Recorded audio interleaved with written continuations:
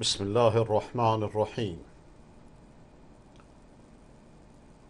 إن الحمد لله. نصلي ونسلم على رسول الله وعلى آله وصحبه ومن والاه.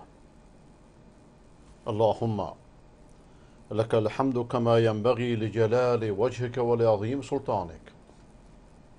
اللهم لا نحصي ثناء عليك. أنت كما أثنيت على نفسك. اللهم صل وسلم وأنعم وبارك على سيدنا وحبيبنا ونبينا وشفيعنا وقرة عيننا محمد وعلى آله الطيبين الطاهرين وعلى أصحابه نجوم الهدى الغر الميامين. لا سيما المهاجرون والأنصار والذين اتبعوهم بإحسان إلى يوم الدين. واجعلنا من المتبعين لهم بإحسان يا أكرم الأكرمين. اللهم نور قلوبنا بالعلم وسهل أخلاقنا بالحلم واجعلنا ممن يستمعون القول فيتبعون أحسنه. اللهم يا من هو أقرب إلينا من حبل الوريد يا فعالا لما يريد. حل بيننا وبين من يؤذينا بحولك وقوتك. يا كافي كل شيء ولا يكفي عنه شيء. اكفنا ما يهمنا من أمور الدنيا والآخرة. إنك على كل شيء قدير وبالإجابة جدير. با حمد و سپاس و ثنای بی حد بر خداوند متعال. و با درود بی پایان بر محمد مصطفی علیه السلام و علی آله و صحبه الکرام. درود خداوند بر او باد که با تحمل رنج های عظیم گنج عظیمی را به ما رسوند. و درود بر اهل بیت پاک او بر اطرت طاهره او بر همسران پاک دامن او و بر یاران با وفای او که به پیامش ایمان آوردند به کتابش چنگ زدند به شریعتش عمل کردند و بدین وسیله چهره جهان را تغییر دادند. و بدین وسیله بود که با فدا کردن جان و مال خود در راه خدا و رسول خداوند از اونها برای همیشه اعلام رضایت کرد و با آنها وعده جاودانه بهش داد. و از بقیه مؤمنان در طول تاریخ خواست که اگر بخواهند اگر خواهان خوشنودی و رضای خداوند هستند بعد از پیغمبر راه پیغمبر را از اونها پراگیرند و از اونها پیروی کنند. المهاجرون والانصار والذین اتبعوهم باحسان رضی الله عنهم و رضوان. همین هایی که باندهای فریب خورده مدعی تشیع اونها را تکفیر می‌کنند سب شتمشون می‌کنند. نقل و نبات مس... بتخانه هاشون هست پخش دادن اونها بدگویی از اونها. قرآن میفرماید که مهاجرین و انصار و کسانی که به نیکویی از اونها پیروی کنند یعنی شما مسلمانان از اهل بیت و غیر اهل بیت به نیکویی از اونها پیروی کنید.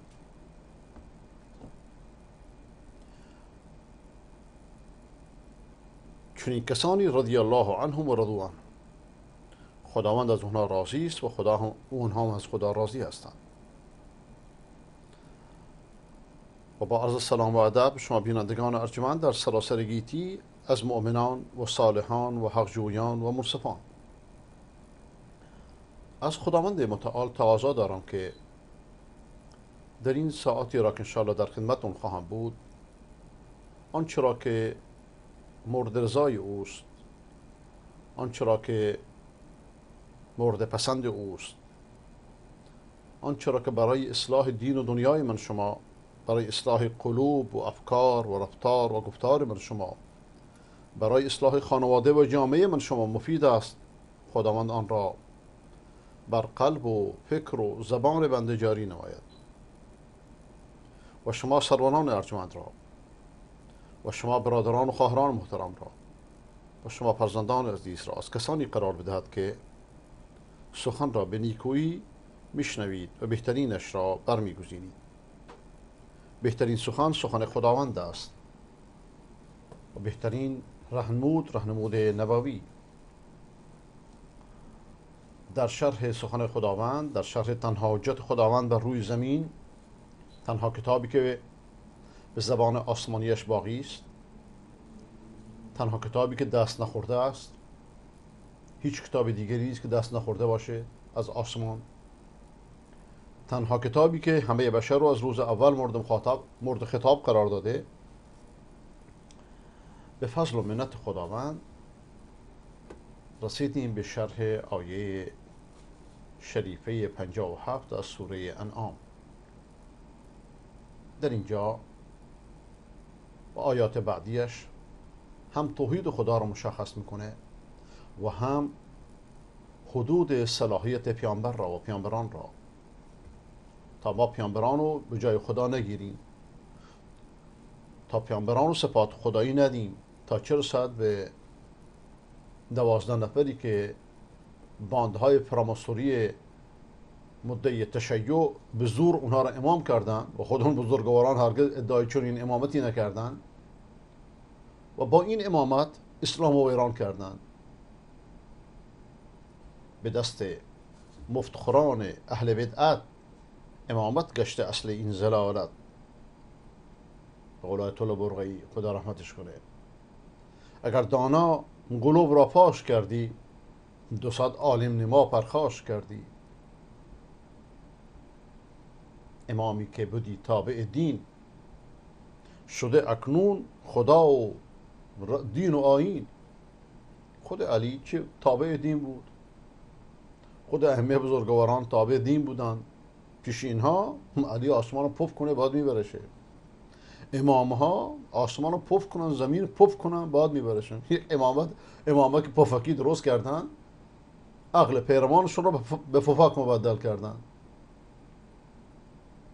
مشکل اینجاست. وقتی که پیامبر صلاحیتش مشخص و محدود باشه دیگه امامات چیکارن بیایید. از این دام بزرگ از این نیرنگ بزرگ بیرون بیایید. از این قلوب از این افراد.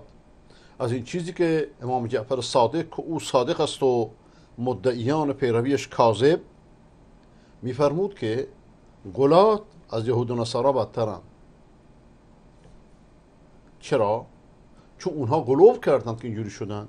یهودیان مسیحیان راجع پیغمبرانشون راجع بزرگانشون گلوب کردند تا دعوت پاک و توحیدی و اسلامی حضرت موسی و حضرت عیسی رو مبدل به یهودیت و مسیحیت و مسیح پرستی و غیر ذالک کردند. امام صادقی که این همه فریاد می‌زند مدعیان پیرویش امروز با امامتی که ساختن همون بلاها سر اسلام در آوردن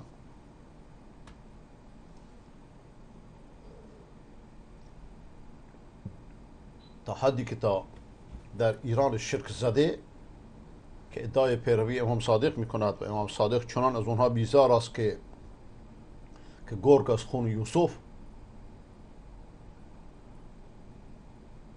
اگر کسی خدا را تنهایی بخوند میگن توطعه در کاره.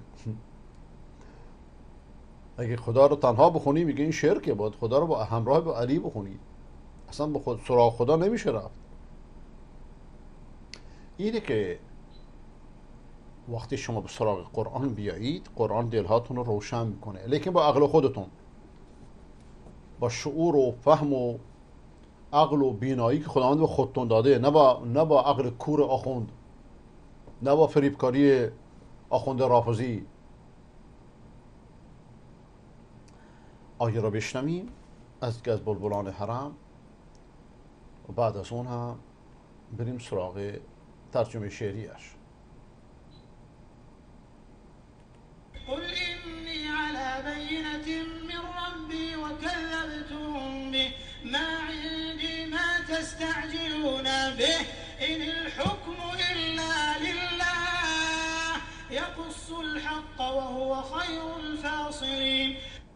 قل لو أن عندي ما تستعجلون به لقضي الأمر بيني ربكم والله أعلم بالظالمين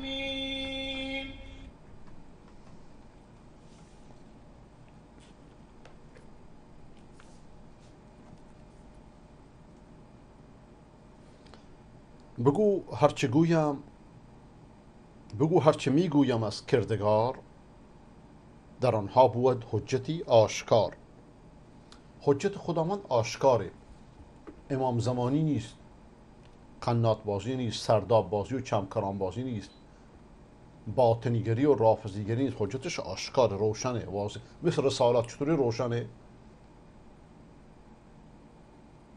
ده ها و صدها آیه روشن و واضح دربارش حرف می‌زنه. قیامت همچنین توحید خداوند همچنین. نه آقا امامت حرف نزده چون اگه حرف می‌زد برش میداشتن. چقدر چقدر احمقانه حجت های آخونده که اگر میبو اگر از امامت قرآن حرف می‌زد برش میداشتن. شما که میگی برش داشتن هستن که. شما که میگی مگه اینا با قرآن شوخی می‌کنه قرآن رو مسخره می‌کنن. لیکن در لباس قرآن. شما که میگی بردنش تو چا بردش؟ آقا دو جلدش با خودش برده که آقا اج.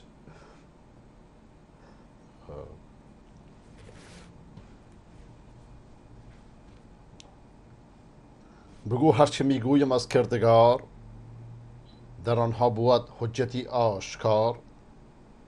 ولیکن زنادانی و جهل خیش ره کسب بیهوده گیرید پیش. کسب امامت بیهودگی است. یک زلالت ولایت اسمت نیدم بقیه بدت هایی که اهل بدت درست کردن چون دکان باز کردن. با این نام ها دکان باز کردن. نام ها بر خیشتن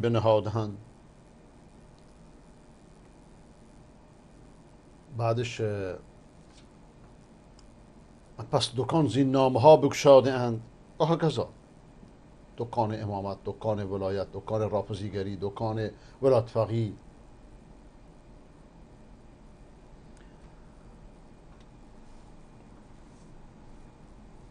ولیکن زنادانی و جهل خیش ره کسب بیهوده گیرید پیش.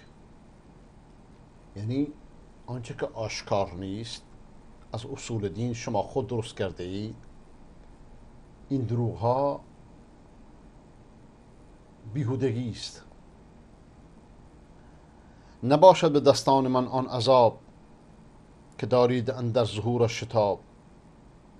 پیغمبر رو به چالش میطلبیدن که عذاب بیاد چرا امام چالش نطلبیدن این امامتی که نبوت بالاتره حضرت عیسی پیغمبر درمانش نمیشه به قول آخونده خبیستون خب چرا بر همچین امامت کسی چالشی نطلبید اصلا کسی اهمیتی بهش نداد یک کسی ردش هم نکرد.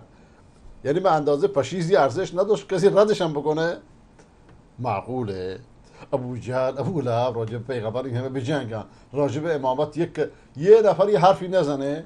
شما که میستد 24 بار رفته معراج که خب چرا کسی انکارش نکرد؟ کوش در قرآن کوش. ای خبیسا چقدر چقدر فریب کارید چقدر روباهید. با روباهیت خودتون. با رسالت این همه می جنگن چرا با یه نفر با امامت نمی جنگه در مقابل امامت همه خاشه اند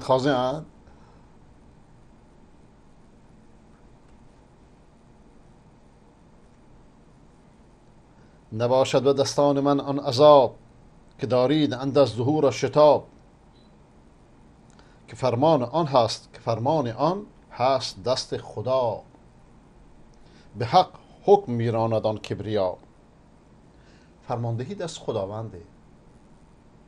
دست عج و ابو صالح و امام زمان و امام بطیخ و امام ابتابه و امام این آن نیست نه همش دروغه. خدا برترین حکمران است و بس که جز او نراند دستور کس که جز او نراند است دستور کس.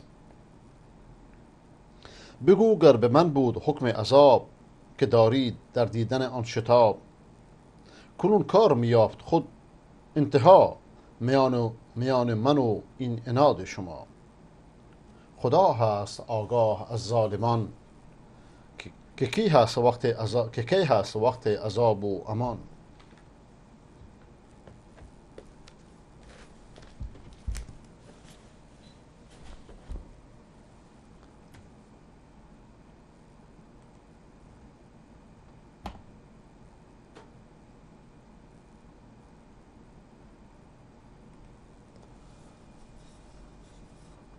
ببینید فرق بین عبادت و عادت چیه؟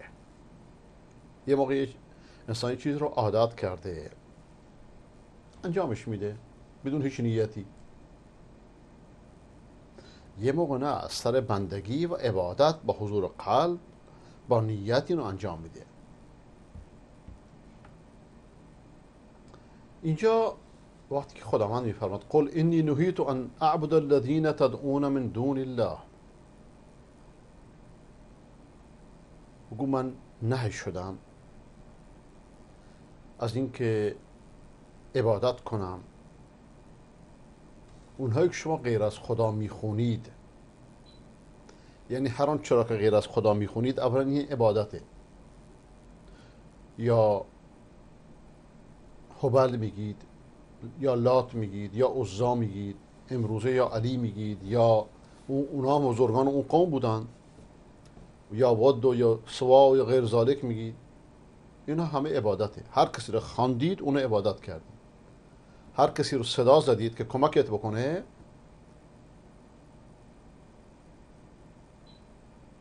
و صفات خدایی بهش دادید شفات بده روزی بهت بده از فلان مرض شفات بده از فلان مصیبت مصیبت رو برطرف کنه. این همه صفات خداییه. وقتی دیگران شما می‌خونی یعنی اونا رو به جای خدا قرار دادی. اینجا پیامبر خدا علیه السلام هرگز بت نپرستیده به فطرتش. خب بت نپرستیده با فطرت خودش. بلکه پیامبران سلیم الفطرت ترین مردمان لیکن این یک عادته. خداوند می‌خواد این عادتش رو به عبادت مبدل کنه. واسه دستور میاد که قول اینی نهید من نه شدم از اینکه بندگی کنم کسانی را که شما غیر از خدا می‌خونید الان شد عبادت. قبلا عادت بود. و یه انسان عادت کرده نماز بخونه. مثلا یه پدر مهربانی فرزندشو عادت میده که نماز بخونه. بچه های کوچکو. به حکم عادت نماز می‌کنه لیکن نه این نماز نیست. نماز باید عبادت باشه اثر نیت باشه اثر بندگی باشه. یکی روزه می‌گیره میگه برای, برای تندرستی خوبه. این عادت عبادت نیست. باید روزه رو به نیت عبادت بگیرید اینجا هم پیامبر اکرم علیه السلام هرگز بت نفرستیده لیکن چون این عادت بوده بنا به فطرتش و یه عمل فطری بوده نسبت پیامبر خداوند می‌خواد که این عادت رو به عبادت مبدل کنه. ولذا این دستور رو بهش میده.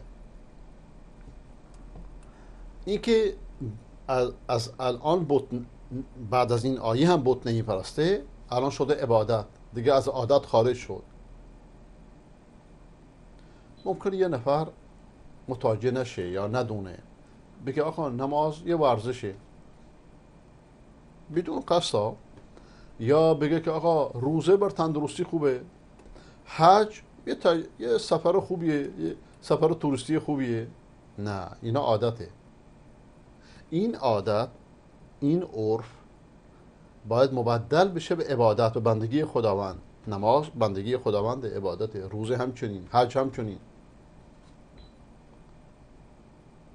الان در میان بعضی از نویسندگان یک یک فریب بزرگتری وجود داره رایجه. میگه پیغمبر یک قهرمانه. بله یک قهرمانه. لیکن قبل از اینکه قهرمانه پیغمبره. بهش وحی میشه. شخصیت بارز او در اینه. این این وحی این پیامبری است که او رو قهرمان کرده. ولی قهرمانان زیادن تو تاریخ. ولذا همیشه این نقطه یادمون باشه. قل لا اتبع اهواءكم قد ضللت اذا اینجا یه اشاره لطیف وجود داره. لا اتبع اهوا لا اتبع اهواکم اینجا عبادتکم. یعنی عبادت های شما رو پیروی نمی کنم این هواپرستی هایی که شما انجام میدی به نام دین هواپرستی هواپرستی سینه زنی زنجیر زنی نوح خانی همه آنچه را که آخونده انجام میدن. اینا اهواه نه هواپرستیه. جای دین رو گرفته. شما وقتی تعظیم یک بوت می‌کنید تعظیم یک معبد می‌کنید یک با تعظیم یک بارگاه می‌کنید تعظیم یک قبر می‌کنید یک بارگاه آنچنانی درست می‌کنید پیروان میان مقلدان میان بدبختان میان قربانی میدن هدیه ها میدن بر این بوت بر این قبر بر این بارگاه اونا که رفتن آخدا جمع میشن می‌برن اینا رو خونه خودشون. چرا اینا اینقدر از از این دفاع می‌کنن؟ برای اینکه با این پولا لازم دارن. این پولا رو لازم دارن. برگه در این هواپرستی در این عبادت من در آوردی در این بدعت در این هوا و هواس مصلحت داره منفعت داره. ولذا همه مذاهب زاله همه ادیان منحرف همه ادیان بشری در یک چیز متفقن. درشون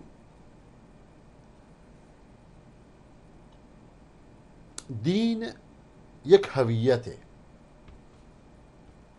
یک شعائر علکی. یه دعاها یه اشارات عبادتشون اینه. درش شرع به معنای درست وجود نداره. درش تقید و تکلیف وجود نداره.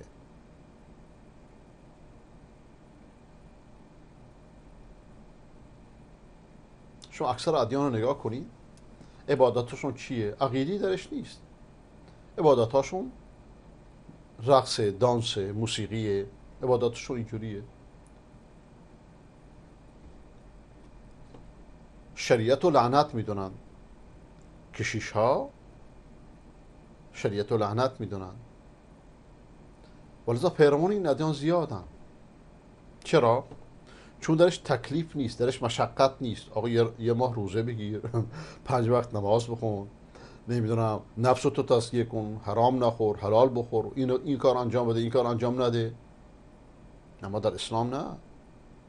اسلام یک قانون وجود داره. محرمات هست مکروهات هست. مکروه تنزیه مکروه تحریمه. یک روش هست. ورزا تکلیف از کلفت مشقته. کلفتش چیه؟ اینکه شهوت ها رو مرزبط بکنید. ورزا قرآن میفرماید که قل لا تبع اهواءکم. من از اهواء شما پیروی می‌کنم یعنی همه دین های علکی که درست کردید این مذاهب علکی که درست کردید این بت پرستی ها که درست کردید این مقام پرستی و, و, و, و, امام پرستی و غیر ذالک همه این اهواه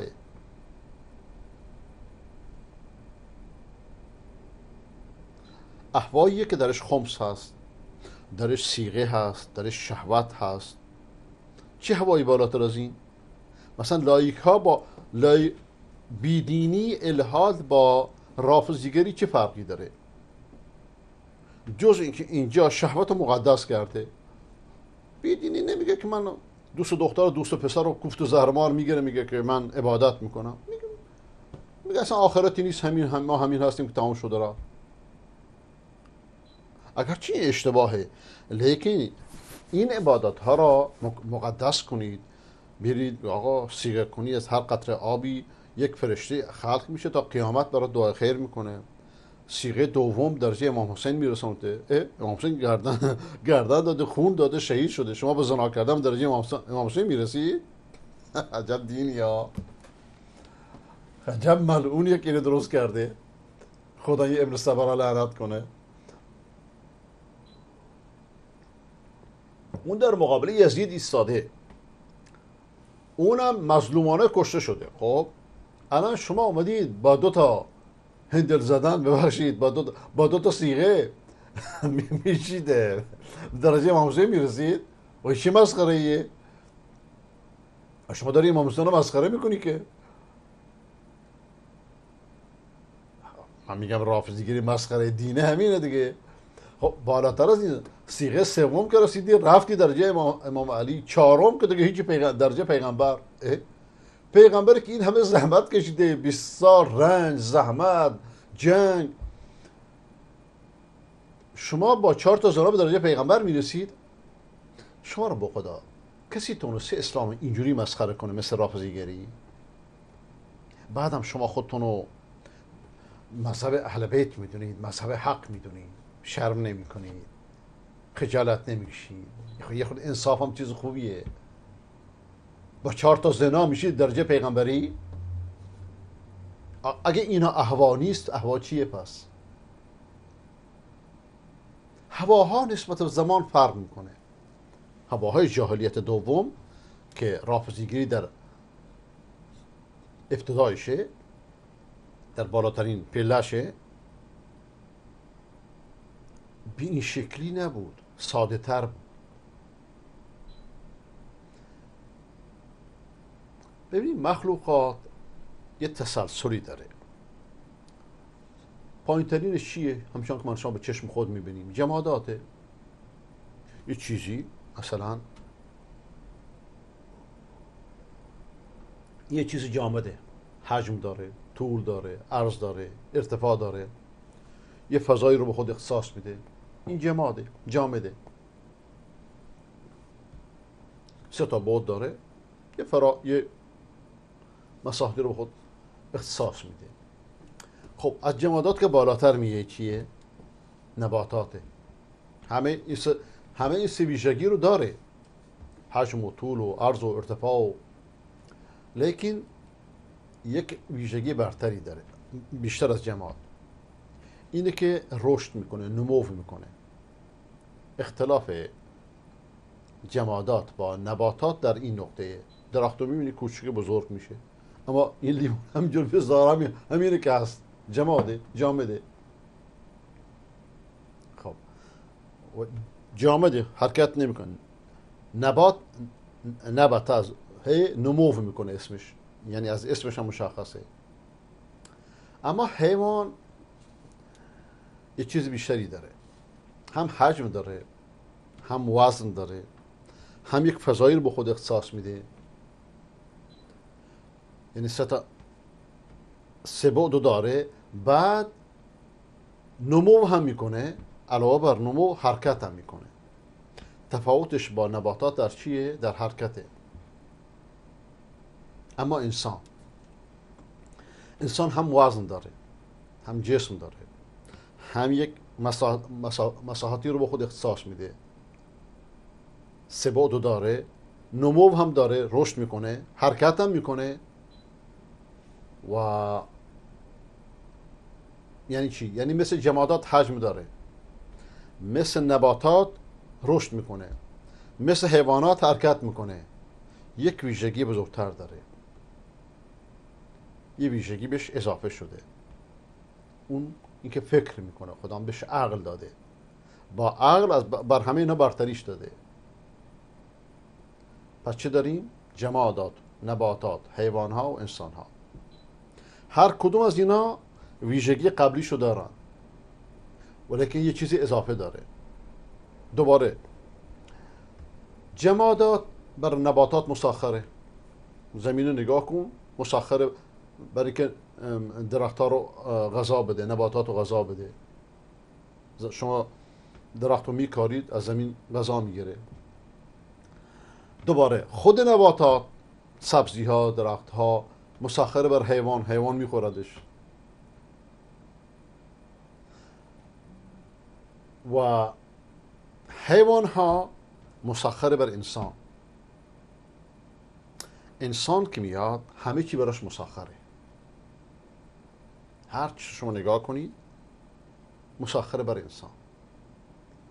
زمین و زمان و ابر و باد و ما و خورشید و فلک در کاران تا تنانی به کفاری و به غفلت نخوری. الان آیا معقوله که این انسانی که بالاتر از همه این کائناته همطور علکی بدون هدف اولا وجود اومدند اینا؟ این معقوله؟ همینطور که ملحدان میگن؟ یا آنطور که خرافیان و مشرکان میگن معقوله که انسان یه چیزی پایین تر از خودشو که براش مسخره اون عبادت کنه بیاد یه سنگی رو عبادت کنه چوبی رو عبادت کنه بارگاهی رو عبادت کنه قبری رو عبادت کنه از منات و لات و عزا و هبل هر یکی دارد بوتی اندر بغل. شیخ ما از برهمن کافرتر است. لیک او را سومنات اندر سر است. و سنیت اینه. امام زمان یه بوته امامت یک بوته. بارگاه پرستی از قبرها کمک تریبیدن یک بوت پرستیه. آخوند اینها رو دین کرده. خب اگه اینا دینه اگه از اهل بیته از امام صادقه چرا خود امام صادق این کار نمی‌کرد؟ معقول امام صادق دینش ناقص باشه خمینی و خامنه‌ای و سیستانی و بقیه پلیدان ولایت تراش دینشون کامل باشه؟ معقول این؟ چرا امام صادق بر حضرت علی بارگاه درست نکرد؟ نه آقا نمی‌تونسته. اینا رو چنان ضعیف می‌کنند که آدم گریه کنه. چون قویشون می‌کنند که آسمان رو پف کنه بعد میبرشون. آقا پس این ولایتش کجاه این ولایت آسمانی که بهشون داده شده آسمان ها رو پف کنه بعد می‌بره شما چرا ازش؟ نه آقا استفاده نکرده. خب ولایتی که استفاده نکنه چه فایده داره؟ یعنی زیر زمین گنج فرامانه برای ما چه سود؟ اوام فریبی اینه. فریب دادن مقلدان اینه. شیخ مدرسه گفت به همارش البته هر که می شود خر می شوند سوارش. وقتی انسان مقلد بشه عقلشو به دست آخوند بده معلومه که سوارش میشه. الان معقول انسان به این عظمت که همه چی مسخرشه بره از قبر کمک بگیره از مرده کمک بگیره یا بوتی رو بپرسته؟ ورزا قرآن در سوره صافات میفرماید آیه 95 96 قل اتعبدون ما تنحتون والله خلقكم و ما تعملون. آیا اون چرا که خودتون به دست خودتون درست می‌کنید عبادت می‌کنید؟ این بارگاه ها رو که دست خودتون درست نکردید یعنی قبل از این بارگاه ها قبل از این بتخانه ها دین ناقص بوده تا یک شاه اسمال صفاوی خبیس بیاد کاملش کنه؟ قل اتعبدون ما تنحتون. آنچه که به دست خود درست می‌کنید عبادت می‌کنید. این ما تنحتون به دست خود درست کردن سابقا ساده بود. الان پیچیده شده. سابقا از آرد از خرما نمی‌دونم از خاک چیزی درست می‌کردن. مثل پرستی های هندو که الان هستن. سیک ها پرست ها نمی‌دونم بودایی ها هر کم یه بوتی دارن. به دست خودشون درستش کردن. ما اینجا میریم هندوها رو نگاه می‌کنیم. تو انگلستان. غالبا پشتخانه ها دست این هاست. و یارو خودش پهلوشه. یه بوتی درست کرده همونجا پهلوشه. با خودش کیف می‌کنه که من خودم پهلومه. دست خودش درست کرده این خود فریبیه هواپرستی اینه. قل اتعبدون ما تنحتون. آیا اون چرا که به دست خود درست کرده اید عبادت می‌کنید؟ و چه فرقی می‌کنه به این دست خود درست کردن؟ با, درست کردن قبر خمینی با درست کردن قبر امام رضا با بقیه بتخانه ها درست کردن اینا. والله خلقکم ما تعملون. خداوند که شما را خلق کرده. با که انجام می‌دید اعمالتون و خالقتون خداونده. اون موقع میگه دست ساختای خودتون عبادت می‌کنید؟ آخه معقول سنگی را خود با دست خود می‌سازید عبادتش کنید؟ یه بار یه قبیله اسمش ود بود. این یه سنگ خوب پیدا نکرد که که قشنگ درستش کنه عبادتش کنه. چیکار کرد؟ اومد از خرما یه بت درست کرد. خب مدتی گذشت گرسنه شد. گرسنه این خرما رو خوردن. ضرب المثل شد بین مردم. که قبیله ود خدای خودشو خورد.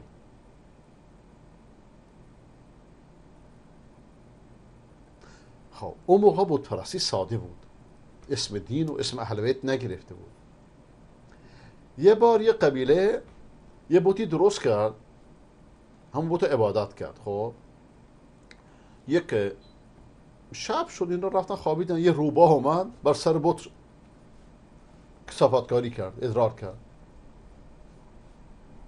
بعد یکی از از همین قبیله از پیروان همین قبیله گفت که رب یبول ثعلبان على رأسه قد ظل من بالت علیه الثعالب. و فطرت خودش انسان می‌تونه اینا رو بفهمه. آخه میگه میگه که آیا این خدایی که روباهان به سرش ادراک کنن؟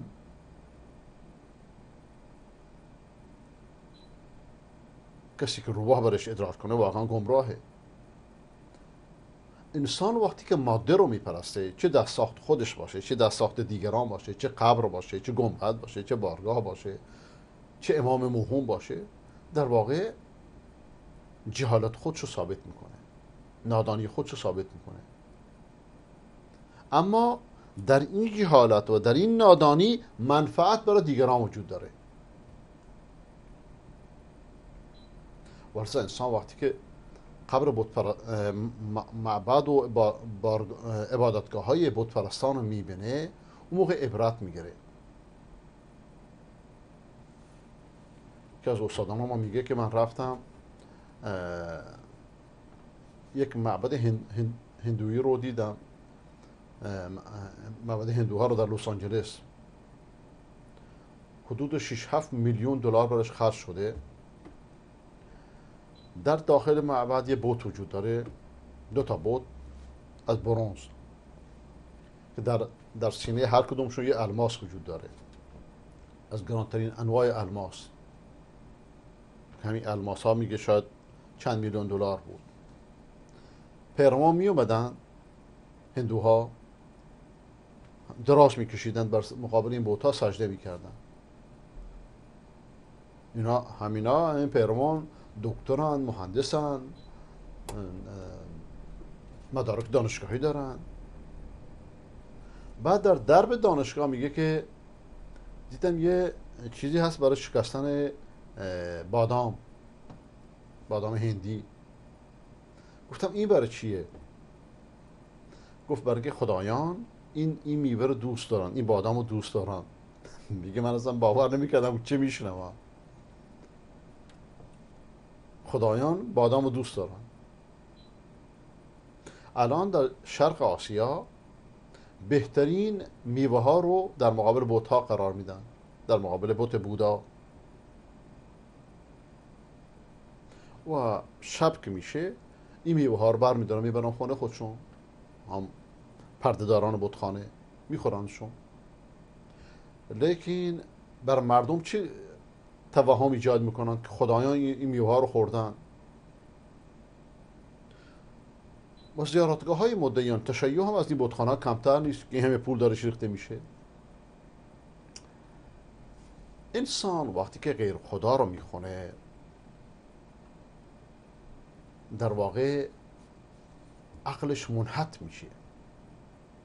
عقلش از بین میره. غیر خداپرستی اولین کاری که می‌کنه عقل انسان رو خراب می‌کنه.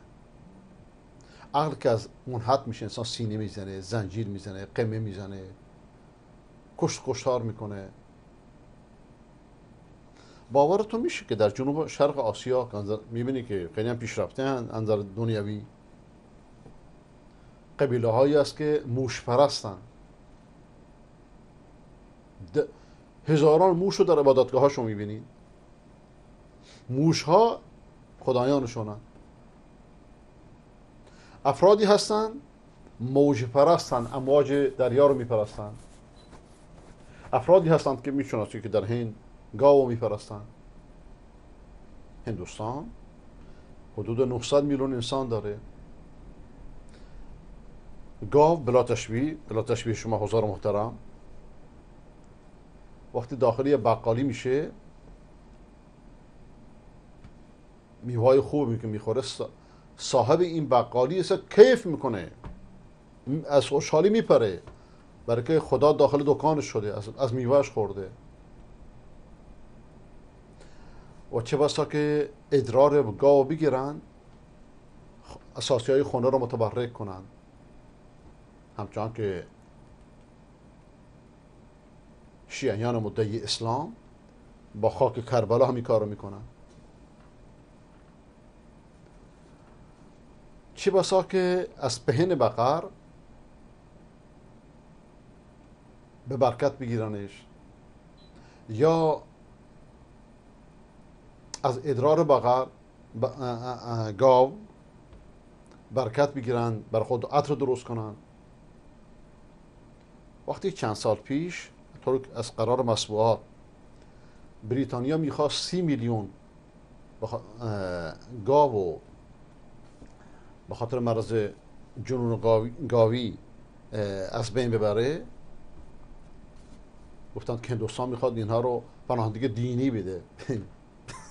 دینی به سی میلیون گاو. بلکه اینا خدایانشونن ملت هایی رو می‌بینی که آفتاب میپرستن ماه رو میپرستن سنگ رو میپرستن درخت رو میپرستن.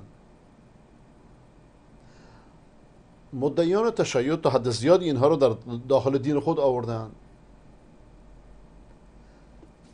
کشورهایی هستن که انظر صنعت خیلی پیشرفتن می‌دونی چی میپرستن؟ آدم خجالت میشه اسم بره آلت مرد رو میپرستن. چیز قابل تصور نیست. نشون دادن گاهی کلیپاشون رو نشون دادن. که چطور آلت مرد اندازه یک کیلومتر درست کردند و بلندش می‌کنند. او کیف می‌کنن. خدایشونه.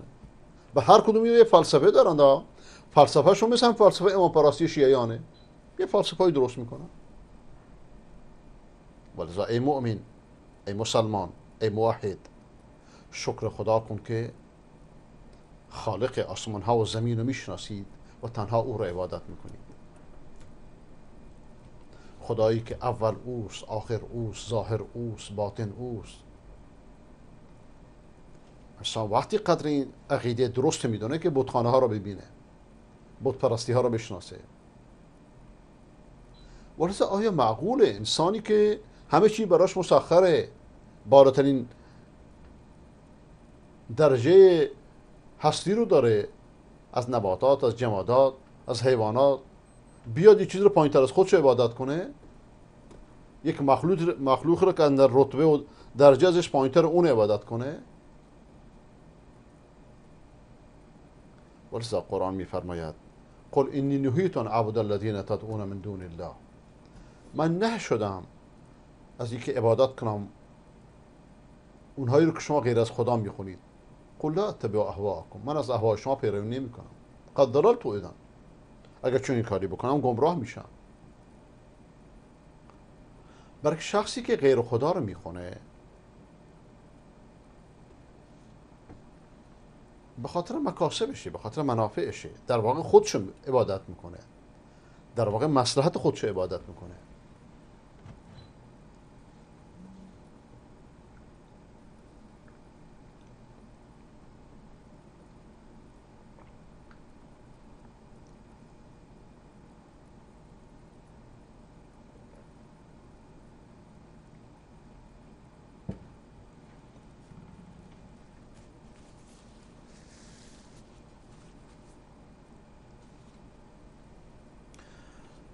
یه مثال رو خدمتون سابقا عرض کردم. یه شخصی با یه چارپا آشغال جمع می‌کرد. این چارپاش مرد. دیگه درآمدش قطع شد. چکار کنه؟ این شیطان فکری به سرش زد. اومد همین رو یه جای دفنش کرد.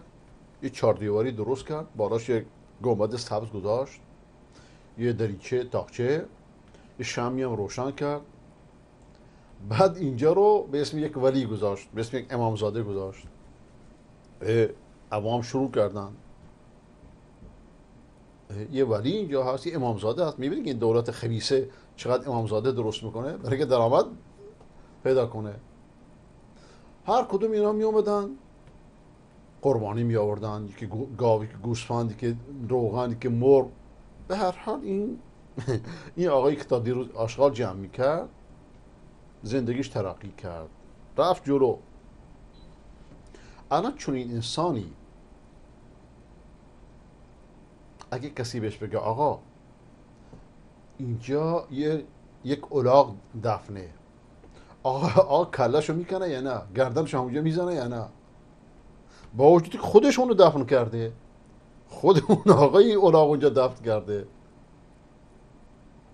یعنی خودش از اینکه نیاز نداره که شما قانعش کنید. از هر کسی قانع تره لیکن مکسب داره. منتفعه صاحب کسب صاحب منفعت نباید باش, باش گفتگو کرد و مناظره کرد. آخوندا دقیقا اینطوری شما فکر می‌کنید آخوندا نمی‌دونن حرفای ما درسته؟ لیکن این حرفای درست دکان اونها رو میبنده. دکان ولایت دکان امامت دکان تشیخ دکان خمس دکان سیغه این هزار سال زحمت کشیدن تا به این دکان شیطانی رسیدن. و از ما شما بهتر می‌دونید که این, این همش دروغه. لیکن پیروان و مثالشون درست سامی خره ببخشید خودش دفنش کرده. الان کسی دیگه بیاد بگه آقا اینجا شما چارپا دفن کردید. کلاشو می‌کنه همونجا. آقا چارپا غیر تو. بتون که مرمک به جایی رسیدم. الان این چارپا به جاش امامت بذارید. به جاش ولایت بذارید. به جاش ولایت فقیه بذارید. به جاش هر مذهب باطلی رو بذارید. هر جا که سود و منفعت دیدید بدون کنجا راه شیطانه. عبادت فی سبیل الله به خاطر سود و منفعت نیست.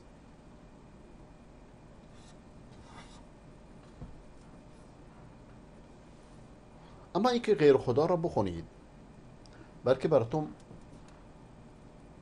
منفعت بیاره. ارز کردم همه این امام تراشی ها فرق تراشی ها مذهب بازی ها همه اینها به خاطر منافع مادی بوده و هست. و این سخن خیلی عمیقه. شما یه موقع می‌بینید یه انسانی با یک عقیده فاسدی که داره چه مادی چه غیر مادی چه دینی چه غیر دینی به جایی رسیده. توجه کنید و چه بسا شما دنبال عقاید فاسد برید وضع زندگی تغییر کنه اون موقع چکار چون انسانی چیکار می‌کنه؟ به مردم این توهم رو ایجاد می‌کنه که این ناسحی درسته. چرا؟ برای که برش منفعت داره.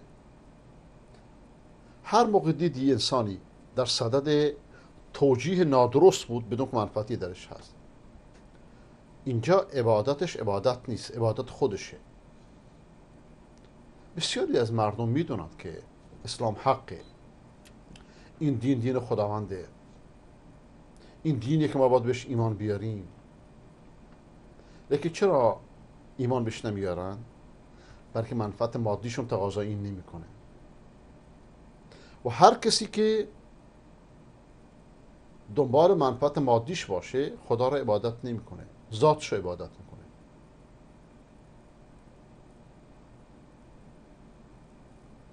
پس بیننده ارجمند یا اینکه معبود راستینت خداوند واحد باشه خداوند بی نیاز خداوند یکتا.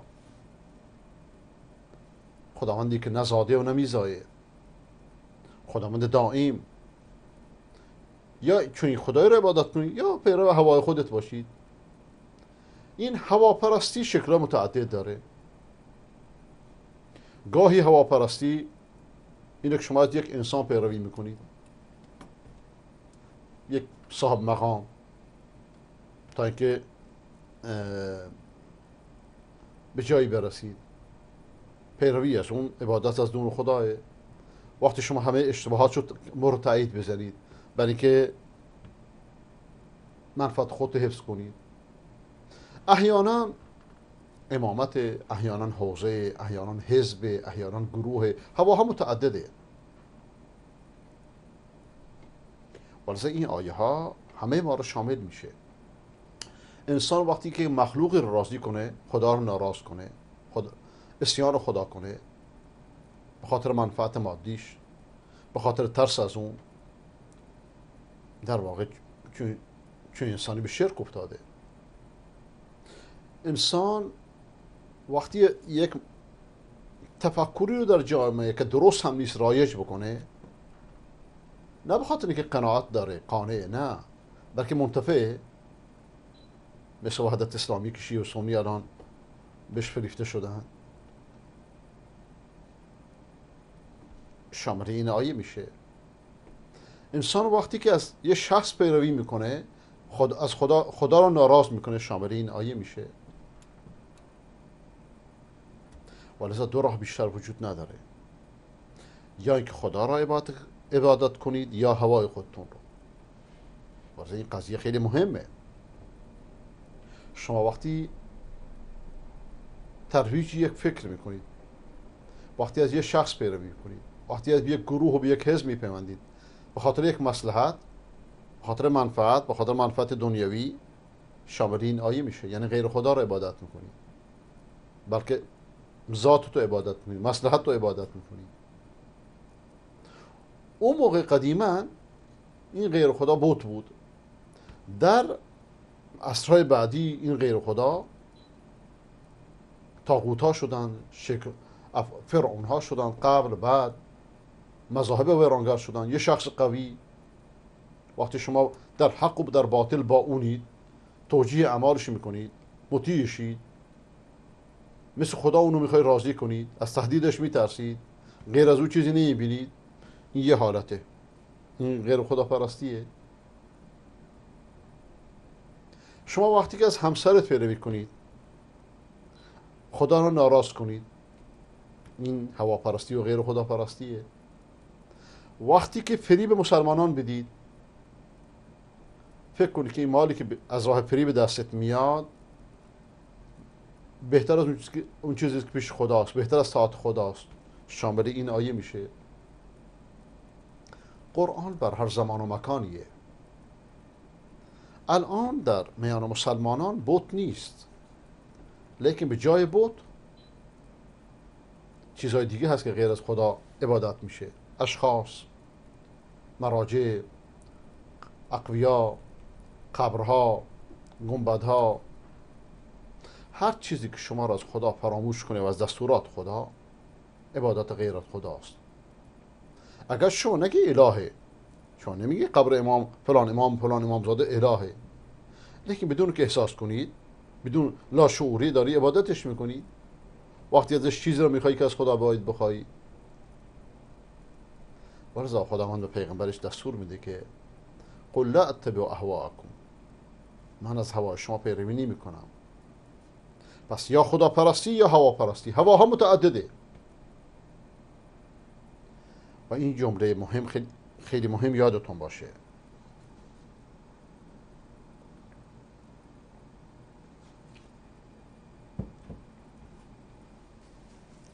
فإن لم يستجيبوا فاعلم انما يتبعون اهواءهم در سوره قصاص آیه 50 مادامی که از تو به تو استجابت نکنند حرف تو پیغمبر رو قبول نکنند بدون که از اهوای خود پیروی می‌کنند. هر آنچه غیر از کتاب و سنته هواپرستی است. امامت هواپرستیه اسمت هواپرستیه رافضیگری هواپرستیه. پس انسان به خوبی باید بدونه که یا خدا را بپرسته یا بقیه هواپرستی است. فلم لم یستجیبوا لک اگر به استجابت نکنند حرف تو رو گوش نکنند کتاب سنت رو پیروی نکنند فعلم بدون که اونها از اهوای خود پیروی می‌کنند. و من اضل ممن اتبع هواه بغیر هدى من الله. گمراه تر از کسی که هوای خودش رو بدون هدایت خداوند پیروی کنه کیه؟ یعنی گمراه ترین مردم اونه که هوا پرست باشه. بت پرست باشه مشرک باشه. و معنای مخالف این هم خیلی جالبه. یعنی اونی که از هوای خودش بر وفق هدایت خداوند پیروی می‌کنه اشکالی نداره. یه زنی رو می‌بینه بهش رغبت پیدا می‌کنه میره ازدواج باش می‌کنه.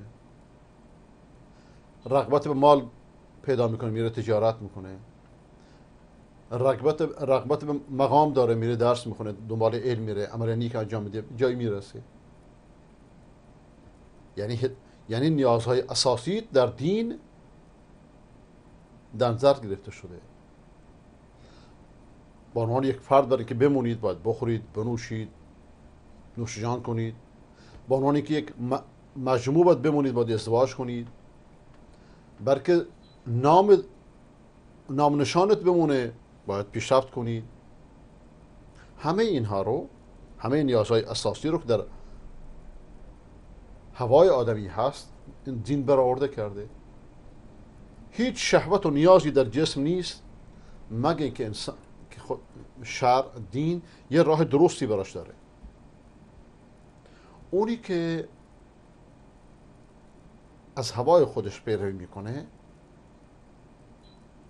اینو از یادش میره که اگر از هدایت پیروی می‌کرد هم دنیا و هم آخرت رو به دست می آورد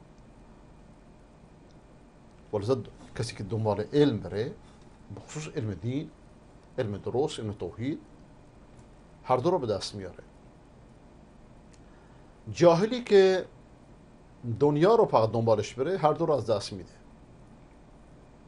قل لا اتبع اهواءكم قد ضللت اذا وما انا من المهتدین. بگو من از هوای شما پیروی نمی کنم اگر چون این کاری بکنم من گمراه میشم. و از محتدیان نمیشم. اونایی که با پیغمبر مخالفت می‌کردن میجنگیدن بهش می‌گفتن اگه تو حقیقتا هم پیغمبر باشی ما ازت پیروی نمی‌کنیم. در سوره انفال آیه 32 می‌خونیم. اذ قالوا اللهم ان كان هذا هو الحق من عندك فأمطر علينا حجارة من السماء. بگو خدایا اگه این حرف حقه این حرف پیغمبرت حقه